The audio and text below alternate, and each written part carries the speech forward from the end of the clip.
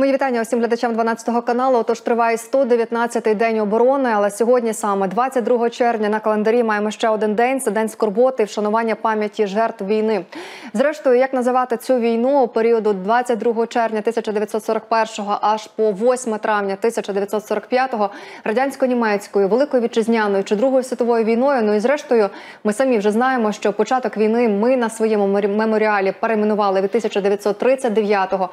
Ну от про це все і не тільки маємо нагоду розпитати у Тараса Літковця, історика та політолога у нашій студії наживо. Мої вітання вам, пане Тарасе. Добрий день. Ви знаєте, мені теж не повірилося би, що ми на 119-й день війни будемо згадувати війну, якій вже стільки-стільки років, яка була насправді такою трагедією, і говорити про окупацію не тільки. Е, я не дарма сказала про те, що є ось різні визначення, значення і назв цієї війни. Коли ми шукаємо в Вікіпедії, є і радянсько-німецька війна. Все ж таки, як правильно формулювати ось цей проміжок, коли була повномасштабна війна з 22 червня 41-го року. Е, дивіться, трактування світових вчених, світових істориків, світової історіографії. І є е, трактування радянські, комуністичні, з нинішні російські, які це успадкували. Росія росіяни, скажімо так, Росія, радянський Союз однозначно велика вітчизняна війна до сьогодні говорять, бо захищали від коричневої чуми, тобто від націонал-соціалістів. А захищала друга чума комуністична червона. Оскільки це був один із театрів е, військових дій Другої світової війни, яка тривала з 1 вересня 1939 року, бо 2 вересня 1945 року, то звичайно ця війна логічно природньо називається німецько-радянська. На перше місце ставиться та країна, яка напала, була ініціатором. Так як зараз російсько-українська так зараз російсько-українська війна абсолютно як би і не називали спецоперацією наші вороги. Це війна повномасштабна із задіянням сотень тисяч людей із жертвами десятки тисяч з депортованими з біженцями українцями в мільйонах. Це можна окремо з говорити. з окупованими містами, що дуже подібно періоду 41-го. І з окупованими і зруйнованими Маріуполем, Мелітополем і іншими не будемо їх перераховувати. Так як Сталінград в 44-му році ми це бачили на хронікальних кадрах. Тобто, це стопроцентна війна, жорстока на знищення. Хто кого знищить, про це інше питання. Тому так звичайно, само це радянсько-німецька верніше німецько-радянська війна. Звичайно, це німецько-радянська війна, е, повноцінним учасником якої на жаль стала Україна. В неї не було вибору, в неї ніхто не питав. Вона була задіяна. Українці воювали в багатьох арміях: в британській, французькій, польській, радянській, американській, і це також трошки інше питання. Більш тематично підходить до 8 травня, яке буде наступного року. Але українці були задіяні скрізь. Війна на українських землях почалась однозначно в вересні 39-го року, якщо не раніше, тому що ще була Карпатська Січ, про яку ми згадували, яка там півтора місяці проіснувала на чолі з е, президентом священним священником греко-католицьким Волошиним. Ну але це трошки інше. Тому 41-й рік це не наш абсолютно і те, що ви правильно сказали, що нарешті лише зараз перейменували, замінили дві цифри 41 на нашому меморіалі на 39-й. Скажу, що місцеві краєзнавці, історики, музейні активісти вони цього просили, вимагали, молили. Ну не те, що 10 років, а я можу сказати точно десятки років. Але оскільки це пам'ятник культури, ми були дуже залежні. Ми мається на увазі залежні від від е, Міністерства культури, і міська рада була ну майже неспроможна щось змінити, зробити. Тому там були бюрократичні адміністративні проблеми, які завдяки війні розрубали цей гордій вузол, і нарешті історична справедливість перемогла. Нарешті цю циферку 39 змінили, і всі тепер питають: а то ж був 41-й рік, а хіба Друга світова не почалась в 41-му? А от до і... речі, ми сьогодні от маємо 22 червня на календарі. Вшановуємо від 2000 року указом президентом День пам'яті та скорботи роботи, то зрештою початок війни 1 вересня 39-го, А сьогодні, якщо заглянути в історію, 22 червня, це був що? Черговий наступ е, Не німецької черговий, а, ну черговий так черговий тільки наступ Німеччини він, на територію. Так чим він страшний? Що це а, друг і союзник, е, фашистська Німеччина, хоча вона була насправді націонал-соціалістична, напала на свого друга і союзника, тому що було кілька договорів про дружбу і кордони підписані. Радянський Союз до того тривала на території Польщі. До того вона тривала і на території Польщі, і десятка півтора країн були окуповані в Європі, крім нейтральних Швеції, Швейцарії, там е, Ірландії ще кількох. Всі інші були або окуповані, або сателіти, або союзники країн Осі, Італія, Німеччина, Японія це інше питання. Тому і діяв війна... ось цей нібито мирний договір. Фактично і мирний про договір про ненапад, договір про дружбу, договір про кордони. Він діяв. Скажу, це, мабуть, саме такий унікальний договір ХХ століття про дружбу і ненапад і кордони, тому що радянський союз ненавидів е, нацистську Німеччину, нацистська Німеччина, радянський союз. Особисто один одного дуже не любили. Це Гітлер і Сталін, і той, і той готувались до війни один проти одного. Але при цьому думали, хто кого обдурить. Стратегічно Сталін був впевнений, що поки з Великобританією, тому що всі інші країни вже були завойовані, не розбереться. Гітлер і в спину якраз цей момент мав вдарити визволитель радянський союз, і відповідно мало би бути зовсім все по-іншому. Але Гітлер стратегічно перехитрив Сталіна, диктаторські режими там одноосібно, як і зараз в Росії, до речі, одноосібно приймалися рішення, і тому на 2-3 тижні Гітлер випередив цей план е, миттєвий удар. І за 4 місяці вся Україна з Донбасом була вже окупована. І за 4 місяці зайняли 5 радянських республік: Латвію, Литву, Естонію, Білорусі, Україну, Молдову і захопили в кілька разів більшу територію, ніж окупували в Європі. А ви знаєте, до речі, от зараз, коли ми будемо порівнювати так бліцкрик, так би мовити, е, Росії, які мали зайняти Київ за три дні, то уявімо собі, ви сказали за 3-4 місяці 41-го року. Ну, наприклад, от я дивилася по зведеннях, аж дійшли до Москви, фактично. Ну так, якщо Так, говорити, так, так, так. Взагалі виходить так, що вже в 41-му році, від 22 червня, осінь 41-го року, Луцьк був окупований. Луцьк був окупований за кілька днів в червні 41-го. 25-го вже червня був так. окупований. В 4 ранку 22-го почалося, і через кілька днів буквально був окупований. Ось і я з очевидцями, які вже померли, розказував, як це було. Значить, що не дуже руйнували Луцьк, кіла- впало кілька бомб. Як відступали, це окрема тема. Луцьк був окупований. Тобто це була війна авіації. Якщо ми зараз Ем. говоримо про війну артилерії, то це напевно авіації. Скидали авіабомби. Е, Ні, був кі- буквально кілька бомб впало саме вночі, вже вранці 22 червня.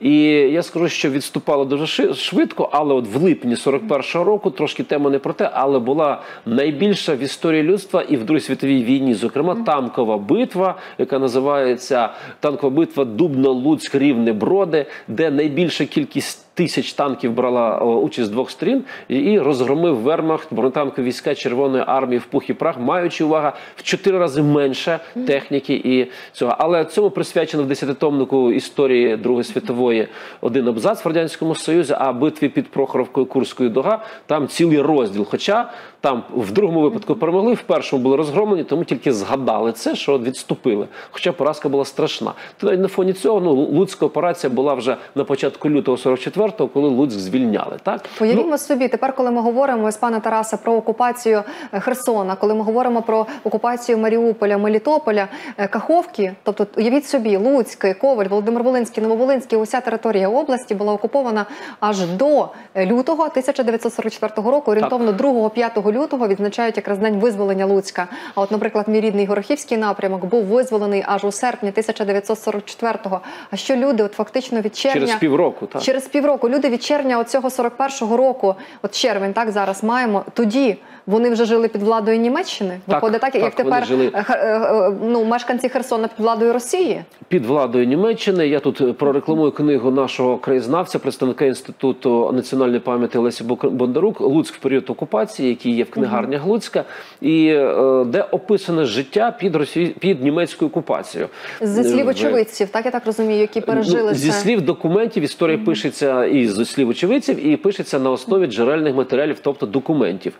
А, про медицину, медичне обслуговування, про роботу друкованих і недрукованих засобів масової інформації, про громадське життя, про е, адміністрування і багато багато чого цікавого. Тому Табори що були, до речі. Концентраційні були в Володимирі Волинському, так були і. Там е, дуже багато людей було, і там ніби був е, генерал е, російський радянський Карбишев Володимир Волинському концентраційному. Так, звичайно, були для червоноармійців. Але в моїй уяві, який вчився в радянському союзі, і як це було в кінематографі, показують, що життя під німецькою окупацією це були суцільні партизани, суцільні підпільники, суцільна боротьба. Насправді життя значить, вирувало і було не набагато гірше. Знаєте, в 1914 році почалась Перша світова війна на території України, в тому числі. Потім революція, громадянська війна, потім партизанські загони, так звані куркульські. Потім колективізація, депортація, репресії 30-х років. Потім Друга світова війна, потім репресії після світової війни, три голодомори 20-го, 20, 21-го, 23-го, 46-го, 47-го і грандіозний 32-го, 33-го. Аж поки в 53-му році не помер Сталін в березні місяці. Тобто з 14-го року до 54-го українське населення жило в безперервних 40 років. Воно жило в епоху репресій, смерті, виживання, голодів, недоїдань. Реально, ну це покоління ще живе, може розказати, що вперше почали наїдатись в 50-х роках і вже голодних смертей не було. Але були бойові дії на території Волині і Галичини. Це були боївки Організації українських націоналістів, і, зокрема, Української повстанської армії в 50-х роках ще й досить активно. І нагадаю, що останній бій був не на Волині, а 14 квітня 1960 року в Чортківському районі Тернопільської області. Останній бій Української повстанської армії з військами тоді вже МГБ СРСР. Ви знаєте, якраз ви сказали про Чортків і про Чортківський район. Здавалося б, таке маленьке село на території Тернопільщини, куди прилетіла нещодавно ракета. Правильно, тобто, ну от навіть тут в історії ми знаємо такі перегукування. Може, це якась відплата? Не знаю. Ви знаєте, саме туди на а, територію Чорткова. Хоча зараз буду вертатися до наших тем, але Так, ж ви так. згадали. Ви знаєте, я не думаю, що прямо відплата. Я не думаю, що так от детально знають історію наші вороги, але справді вони нищили і нищать все українське, зокрема історичну пам'ять, історію, ментальність, світогляд, національну церкву, звичаю, традиції культури. Ми хочемо все по своєму подобію російською мовою зробити. Ми поки що вже 120 днів захищаємося досить успішно і неочікувано не тільки для всього світу, для самих себе, тому що друга армія світу не може здолати 22 армію. Ви знаєте, от ми почали з німецько-радянської війни. От якщо говорити, е, до речі, якщо я не помиляюся, тобто одразу вона стартувала не на одному фронті, а на декількох фронтах. Вона Тобто почалася від Балтики всіх. до Чорноморськ до Чорноморського узбережжя трьома клинами: північ, центр, схід і південь. Найбільше було південь, ішов на Донбас, на північний Кавказ. От німці почали наступати. Настільки Тобто, вони фактично, Україна попала в один фронт чи в в декілька? один це фронт. був е, Рудштедт, командуючий Вермахту, був е, е, маршал, і він, значить, якраз Керував керував так, керував значить, гру, е, група армії Південь. Так вони називалася. Ось, а на центр думку- йшов на Москву. От ви сказали, що в жовтні, в листопаді, так ось 16 листопада наступ Німеччини зупинився. Чому? Вдарили морози до мінус 30. От після е, 40, е, після війни кожного року дослідники дивляться, яка температура під Москвою в Москві 16 листопада, і вона плюс 3, мінус 3, а тут мінус 20, мінус 30 почалась вперше і чи не востаннє. В 1800... історії. Так, тут така, знаєте, е, Це 1941 року. в 41-му році рання сніжна війна, е, зима, осінь також, дороги розмиті через бездоріжжя, через мороз і через величезні відстані, або як кажуть науковці, поки Росії в Росії не включається географічний компонент, тобто відстані, дороги, ресурси, е, значить вона воює досить, досить успішно. Як тільки це включається, ну все по-іншому. Тому, поки е, Росія воювала проти маленької Грузії, Молдови, е, Сірії, Афганістану, це одне. Коли вона вперше після 45-го року на такому фронті від півночі Одеської, Київської, Житомирської області до Одеської, Миколаївської, це тисячі кілометрів і кілька там південь, схід, північ фронтів. Вони з 45-го року досвіду ведення таких бойових дій не мають, тому так безтолково воюють. Ви знаєте, до речі, я повернуся все ж таки до тих бойових дій 1941 року. Якщо порівнювати із масштабами, е, тобто е, щось можливо провести аналогію з тим, що відбувається нині. Запозичили рашисти щось від ну, нацистів? я скажу, як це не смішно, але про це вже всі говорять, що е, вони воюють, росіяни. Подібно до- Точно так само, як це було 80 років тому. Це танкові колона, такі клини, які йдуть. Спочатку артилерійський обстріл, потім ракетно-бомбовий удар, потім танки, після них піхота. Ну так воювали десятки років тому. Вони не модернізувалися. Є така приказка в росіян, що генерали завжди воюють, е, готуються до воювати до минулої війни, і такими самими методами воюють. В 41-му році в радянському Союзі була найбільша і найкраща в світі кіннота, кавалерія. В той час, як в Великобританії вже й не було, в Америці не було, всі готували танки, підводні човни, авіацію. А в нас ще була кавалерія. До речі, Луд На звільняли конях, правильно на конях. Так, Луд звільняли кавалерійські корпуси. Один з них якраз той, що звільняв Москву в 41-42 році. Так тому ще конями воювали, кіньми воювали вовсю. Так Як дуже 14-го року, так і потім у 41-му. Так і в Хто 41-му. оголосив одразу війну, окрім Німеччини? Тобто я так розумію, що від собі що і Румунія, і Італія зразу приєдналися до оголошення так, війни. Звичайно, дивіться, СРСР. які були окупаційні війська, союзники, е, союзники Німеччини на території України. Це були звичайно німці, це були їхні союзники італійці, звичайно, угорці. До речі, Луцьк в 44-му році від червоних захищали угорські підрозділи. Угорці, румуни, італійці і рідко згадують Словаччина, маріонеткова держава. Вона була союзником а Німеччини за оцей суверенітет національний. Вони воювали в складі Вермахту. Так ось, коли на Волині запитаєте про Словаків, всі дуже позитивно згадують їх добре. Е, Дуже добре згадують італійців. А Вони безпосередньо тут були, бо ви сказали за угорськів. е, Е, саме. Угорці так, вони якраз в І італійці були дивізії. теж в якихось Е, певних ме- ме- підрозділах. Менше було, але я пам'ятаю, як їх неграмотні бабусі описували, як вони впізнавали італійців, що німці завжди були підстрижені, побриті, підтягнуті, чисті. а Ці були не такі, скажімо так. Але е, агресивно до місцевого населення італійці, словаки себе не вели. Не вели абсолютно. Проти єврейського населення дуже багато постраждало Звичайно. в період окупації вже від 41-го року червня. От саме німців на території Луцька, Абсолютно. зокрема, правильно Абсолютно. У нас І було навіть своє гетто на території Своє міста, гетто і в було, Ковелі це було. Всіх було, я вам скажу, навіть по селах, там, де по дві-три єврейських сім'ї, сім'ї, сім'ї жило, їх виловлювали і або ліквідовували зразу, це як де, або вели, везли в гетто і звідти там вже ліквідовували. Перший удар масових репресій почався, коли зондеркоманди приїхали. Це проти е, євреїв і циган.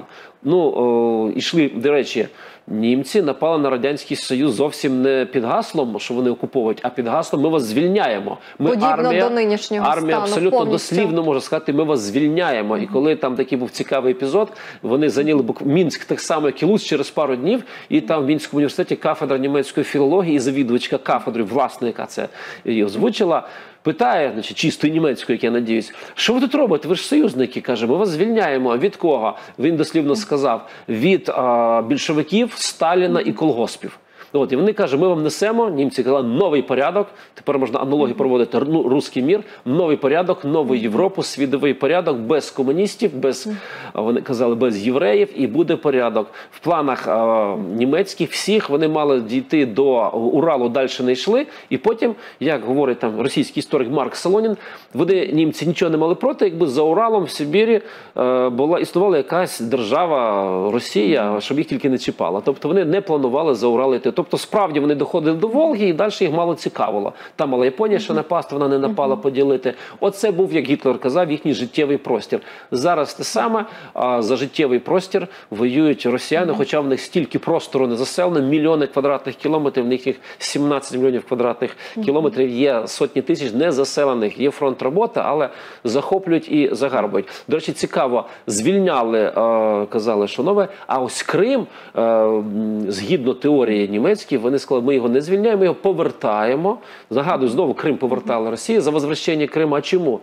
Колись, колись там ще в третьому, в другому столітті, на початку нашої ери. Із е, півночі, з району сучасної Прибалтики, приблизно прийшли готи, німе германські племена, і вони там десь осіли в Криму. І ось і тому це дало привід сказати те, що це споконвічні німецькі землі. Тому Крим Ого. вони сприймали от як свої. А все інше там був Для рейс. цього було виправдання. Рей, да, історично рейський комісаріат Україна була столиця в Рівному. Закарпаття віддали союзнику Угорщині. Рейхсдістрикт Галичина був. Трансністрія, назва така Чернівецька, Одеська і половину Миколаївської області віддали великій. Ну і Румунія, звичайно, Південна Бессарабія називалась. Віддали великій Румунії, тому там були румунські окупаційні війська. Там окрема тема Одесити згадують Ага. окупацію І свою це теж приблизно до 44-го року. Ми говоримо про всю територію України. Дивіться, ви сказали про цей момент, що дійсно говорили е, нацисти і, е, зокрема, фашисти Всі про те, що вони визволяють і е, проти Сталіна і радянської Колгоспів влади і були так. ті, хто навпаки вітав їх. Бо є такий один із фактів, що, наприклад, у Львові навпаки Німців? Так вітали. Ну, де я скажу більше, Представників, дуже е, часто, дуже часто зустрічали німців з хлібом, з сіллю, з квітами, е, щоб Це перевірити. Я кажу, перевірити може будь-хто. Є маса хронікальних кадрів. В інтернеті можна знайти багато фотографій. Я скажу, чому це? Я навіть пам'ятаю села по Волині, де так зустрічали. Тому що в 39-му Львівщина, от була така Львівщина і не тільки є фотографії, там і Полтава, і Харківщина є. Чому? Тому що на Воли... Волинь Галичина, 39-41 рік, в 40-му почались масові політичні репресії. А репресії це ув'язнення, катування, депортації проти так званих куркулів, греко-католицької церкви, української церкви, політичних діячів, громадських діячів, всіх національно свідомих, хто похожий на шпигуна ворога народу, всіх знищували. Тому злякалися, хоча спочатку позитивно, 17 вересня 39-го зустрічали, потім злякалися страшно. Тому зустрічали з хлібом сіллю. Знаменитий Андрей Шептицький, глава Української греко-католицької церкви, написав вітальний лист Гітлеру, чим зараз козиряють е, московські пропагандисти. Так, він написав тому, що прийшли звільняти від комуністичної чуми. А в 44-му році так само. Зустрічали, тому що одна один визволитель прийшов в 39-му році і почались репресії. Потім Гітлера. Тому і Сталін, і Гітлер Шептицький писав вітальні листи не за того, що він такий пристосуванець і зрадник. Ні. Українці стали між жерновами, заручниками світової історії, бездержавна нація, між жерновами країн осі Німеч, на чолі з Німеччиною і Радянським Союзом. Тому з 14 року по 54 нас ці жерновали мололи, знищили десятки, десятки мільйонів людей. Зараз нам страшно загинуло А до от 100 скільки втрат тисяч. було? От а кажуть, це- кожен п'ятий в період навіть цієї Другої світової. Бачите, Друга світова там одна цифра, але ще ж був невеличкий, але голодомор післявоєнний. Але ще були депортації, репресії. А ще 300 тисяч вивезли за зв'язки з УПА, депортували з Галичини, Волині, Буковини, Закарпаття. Вважаєте, вони згинули в далекій холодній Сибіру. Хтось підраховував взагалі всі ці цілісні Підрахують, втрати. підраховують до сьогодні. Знаєте, це втрати після голодомору 32-33. Вони досить приблизні, вони не точні. Статистика не велася. В радянському союзі не тільки історія була лженаукою, а була і статистика, і кібернетика, і демографія. Все було в нас лженаукою, все фальсифікувалося. Найбільше репресовували істориків в сфері. А на другому місці була статистика і демографи. От вони як тільки давали якісь не такі цифри, що від них незалежні, вони тільки констатували факт. Вони зразу підпадали як буржуазні шпигуни. Там смішно було, одночасно міг бути шпигуном Японії, Німеччини і Італії, Польщі, Фінляндії і Японії. І їх там розстрілювали. Знаєте- Тому їх також знищили. У нас статистика от, 20, остання була в 26-му році, більш-менш точно, 1926 рік. Потім, після репресій, голодоморів, колективізації, депортацій, не хочу перераховувати, до кінця 50-х років вона була сфальсифікована. Тому вчені зараз ламають голову, якби точно підрахувати її кількість. Давайте згадаємо, е, звідки взялась цифра 20 мільйонів жертв радянського союзу після війни, як і вперше озвучили приблизно. Потім цифра 27. А виявляється, китайців загинуло 55, то зовсім не радянський союз в Другу світову. Не радянський союз найбільш пострадав жертовно. Ну але це інша тема. Дуже цікаво поговорити кількість жертв Другої світової війни. От якраз на продовження кількості жертв, незважаючи на те, що говорять за такою статистикою в лапках, яка може бути неточною, кожен п'ятий українець загинув е, ну, на території. Саме України, коли він воював і в лавах Червоної армії, тут далеко не треба ходити. Це дійсно історичні факти. Путін знову ж таки заявляв, що вони війну, от цю другу вітчизняну, могли виграти без України.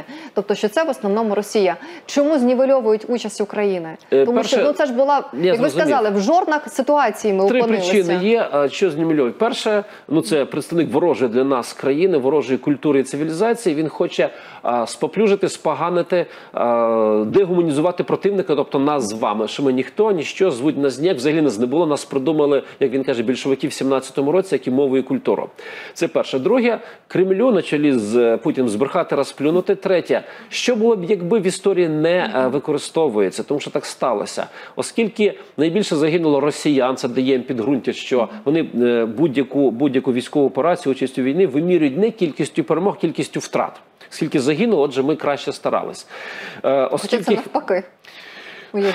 Також Якась- можна говорити. Підхід. Угу. Е, так, якщо закидати е, шапками і трупами, е, значить, танки і все інше, ну можна зараз випущені в Росії мемуари росі... німецьких ем, маршалів і генералів російською мовою, там Гудеряна, Канаріса і, і багатьох інших. І там зовсім зовсім не те вони згадують, про що нам втовкмачували.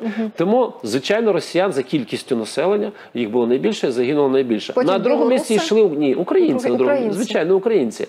І знову ж таки. Таки в мільйонах і червоноармійців, і партизан радянських червоних назвемо їх, і партизани жовто-сині патріотичні. І вони також гинули в боротьбі з коричневою чумою з окупантами німецькими. І загинули на Закарпатті в боротьбі з е, угорськими фашистами, назвемо їх так, з хортистами. Оце пісня Пливе кача, це звідти історія починається. І тому ми гинули і в боротьбі з Румунією, і е, депортованих, і ті, що воювали в лавах в концтаборах, були їх вивезли на роботи. Вони часто не загинули, але.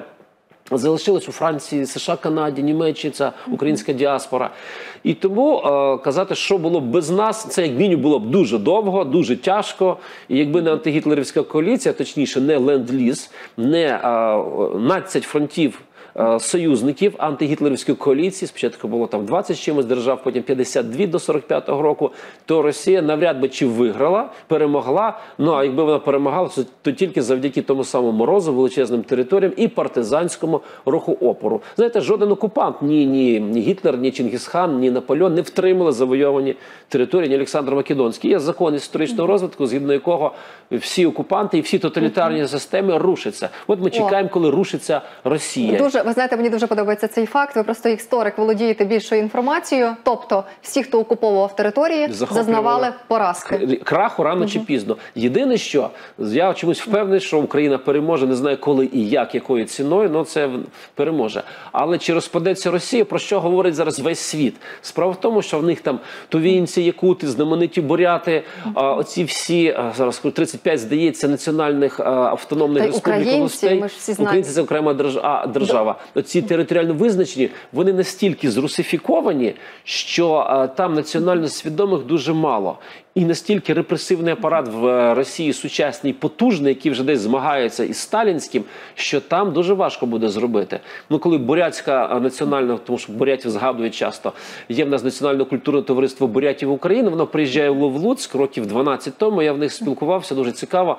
І я запитав, яка найбільша проблема в Бурятії. Нагадаю, Улан Уде столиця, червоний Уде комуністичний. Вони сказали, денацифікація. каже, в нас е, молодь не говорить до 40 років бурятською мовою, тільки в селах говорять. Навчальні заклади російські. Там русифікація сильніша, жорсткіша, ніж була в Україні. Нагадаю, що буряти не мусульмани, вони буддисти, в них своєрідна, значить, цікава релігія, і вони дуже відрізняються від росіян. Ну, це така ситуація. Тому а, і бурятам, і тувінцям, і башкірам, і татарам, і чеченцям, і ще десятки народів буде дуже нелегко це все зробити. Так. На сам кінець, ви знаєте, декілька хвилин залишилося. Ось ми зараз пригадаємо все ж таки початок 22 червня 1941-го. За цей період дуже є багато українських героїв, які були удостоєні, пригадуємо, і Червоної зірки, і героїв радянського союзу, які воювали за цю територію. Нині йде перейменування вулиці, назви Так. цих міст, е, взагалі, ну повністю все, що стосується ось цієї і символіки періоду Другої світової війни, і цих же таких людей. Не знаю, нібито Кужодуба залишили. Ми всі Так, знаємо так. тричі герої радянського союзу. Він літав на американському літаку. Месері, до речі, так? На... Ні, ні, ні, а месер це німецький месер. Німецький, бо ну ніби був на Месері, я читала історію. Ні, він на ньому був е, ні, ні, ні. Він втратив його на американський, американський в нього був. А можливо, на початку На нього був початку, американський на початку був нещасливий у нього виліт. Але я повернуся до запитання: що робити з цим перейменуванням? Багато хто Е, за, багато хто проти. Дивіться, моя була точка зору, яку мені змінила. Я вважав, що цих червоних червоноармійців, які загинули на території Волині, Луцька, було б добре а, залишити. Контраргумент мені навели наступний: що спеціально знаходили, е, були аналогічні герої українці, але спеціально знаходили саме росіян, не калмиків, не чеченців, не інгушів, не кримських татар, і називали в нас топонімічні назви саме росіяни етнічні герої радянського союзу. А наші забуті були українці? А наші так забуті там. Хоча вони воювати могли і воювали зробили з- досягнення. І, гинули, так, і, і це так спеціально робили, щоб показати в лапках там інтернаціоналізм радянського єдиного народу, якого не існувало. Це перше. zawsze.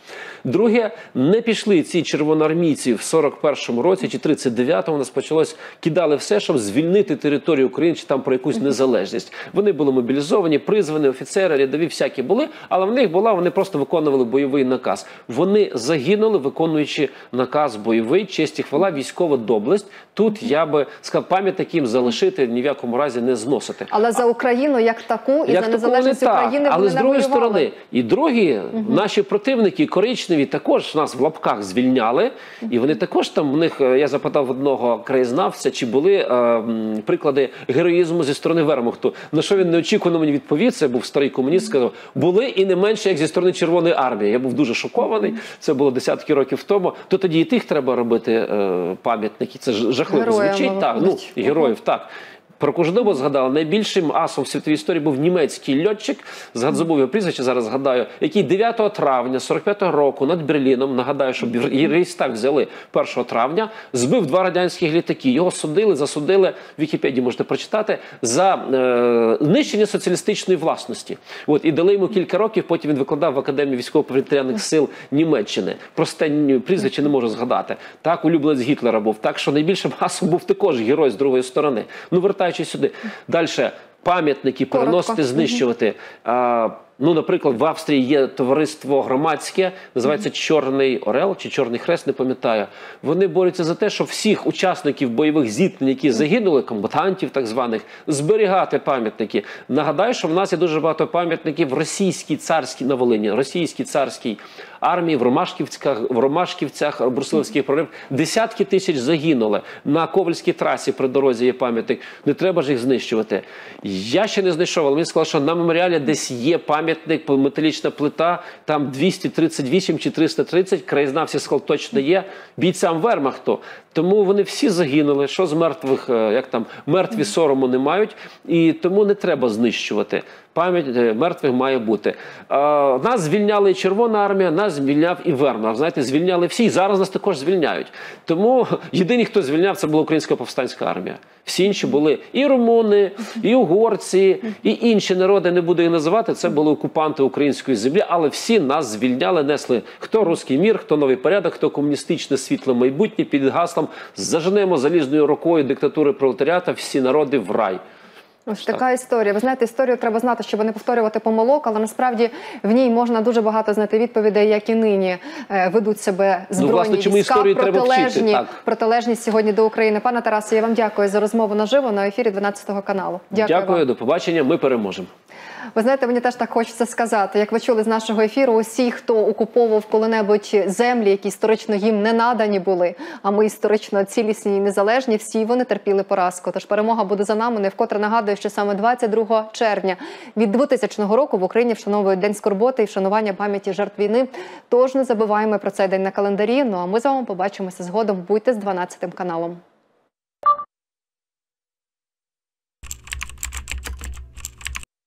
you